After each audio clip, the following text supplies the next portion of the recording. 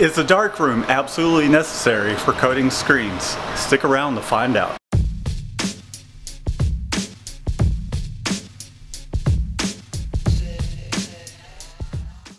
Welcome back. If you're new to the channel, be sure to subscribe. One of the questions I get asked pretty often is, I thought you needed a darkroom to coat your screens they needed to stay inside that dark room in the meantime while you're setting your film up and going through the exposure process. Well, I'm going to tell you from my experience that you can coat your screens and take them out for a little bit without it causing any kind of issues. Obviously, you don't want to just leave them out, sitting out all day long in the sun. As you guys can see here in our shop, we do have some daylight coming through with both these doors and we have some little light panels up there to allow some daylight in and this is the environment in which we coat our screens. The key is though, you need to let your screens dry in a dark, cool, and dry place. If you leave them out in the sun, once they dry, they'll expose. They'll slowly expose. So the key is really, once they've dried, then they become photoreactive. So I'm gonna demonstrate this point. I've got a screen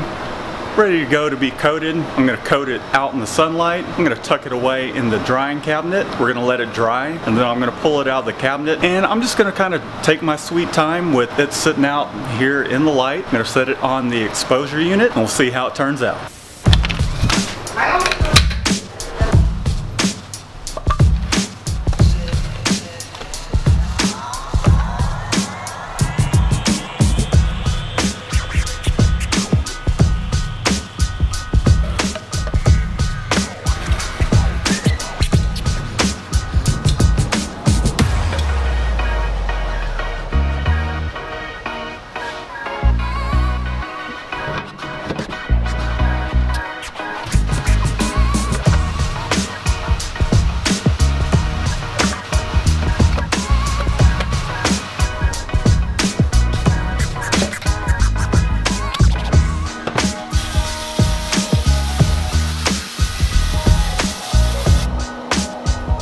Now that I have my emulsion coater, now that I have my scoop coater all clean, we're gonna wait for the screen to dry. We'll be right back as soon as it's dried and we'll do that experiment.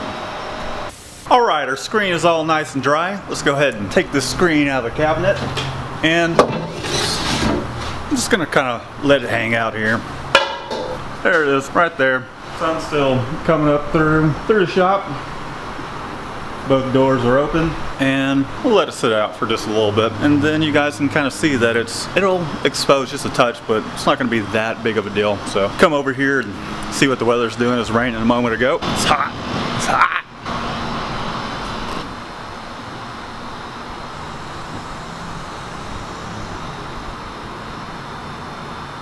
Okay, I'm going to grab the scissors. I need to cut this piece of film in half. Still sitting out. I'm going to grab my film, toss our screen up on the exposure unit. Still not in the dark room. And I'm just gonna cut this piece of film up real quick. It's been sitting out for a couple minutes. See if I can do this one-handed.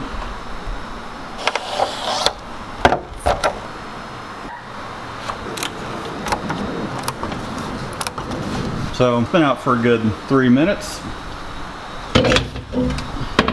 Let's go ahead and expose this thing.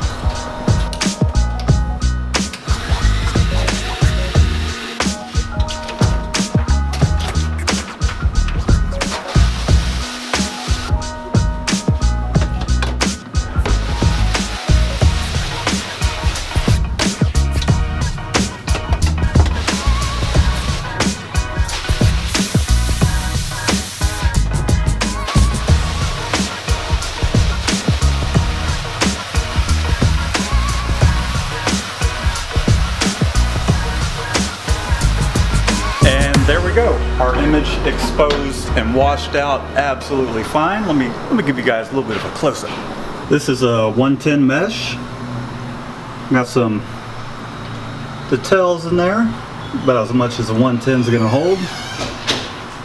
Now I'm going to take my screen, set it outside, that way it can post harden in the sun and help it dry a little quicker.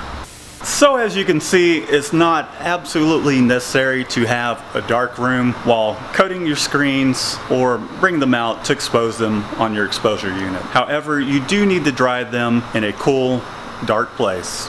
Although it's really not that cool in here, it's pretty hot. I mean, it's practically an oven in there, which can be good because it dries your screens a lot quicker. So uh, there is that. And it's very humid here too, so we have all these things working uh, against us and not necessarily for us, but you know, screens go in the drying cabinet in a dark place and it works great. This cabinet works great. I'll be sure to do a future video on the specifications of this cabinet just in case you want to build something similar for your shop. Thanks for tuning in guys. If you're new to the channel, be sure to subscribe. Until next time, we'll see you later.